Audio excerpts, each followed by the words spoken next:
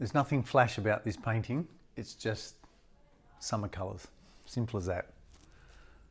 And because it's summer colours, it's fun to paint.